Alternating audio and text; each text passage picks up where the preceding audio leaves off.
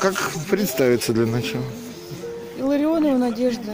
Надежда, вот э, я так понимаю, вы планируете эти митинги сделать каким-то э, посто- постоянным? Ну, хо- Будем А прич- каждые выходные. Да, почему вы, вы собираетесь здесь? Я вот и сейчас послушал, и в средствах массовой информации официальных видел, что проблема уже практически, считайте, решена.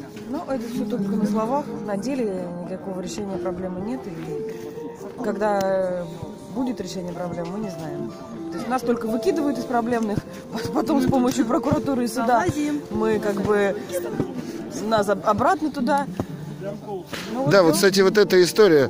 Вас же уже признавали один раз проблемным домом, потом вроде как администрация отменила, да, по своим постановлением. Вы подавали в суд, да? Мы подали в суд, да, 16 января мы выиграли суд, у нас есть решение, а, на которое подана апелляция администрации. То есть 26 марта должна состояться апелляция. То есть они, то есть, а это было решение об отмене постановления администрации или о внесении дома в список проблемных? Но суд постановил отменить э, постановление администрации об отмене э, Постановление, Постановление, которое признавало которое- дом проблемным.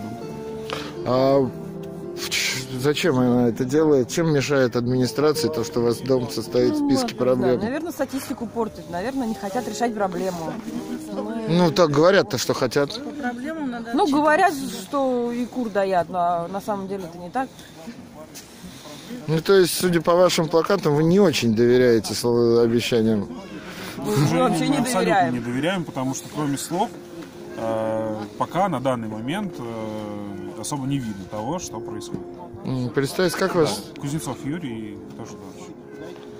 М, Спасибо большое. А вы, то есть, вы собираетесь через неделю Да, мы еще раз? собираем следующий митинг. У нас э, подана заявка на 10 марта. То есть, А вы- дальше, соответственно, еженедельно будем проводить одиночные пикеты, будем проводить митинги для того, чтобы наш вопрос был на виду и наш вопрос решался. А одиночные пикеты вы планируете где? Строим Адми- Они проводятся у Минстроя Московской области, в том числе у правительства Российской Федерации они проводятся э, для того, чтобы привлечь внимание не только городских или региональных, но и властей России. Потому как сами мы понимаем, что пройдут выборы, и с большой долей вероятности это все заглохнет, э, так как уже можно будет особо не заморачиваться по этому вопросу. Извините, что Спасибо. языком. Спасибо большое.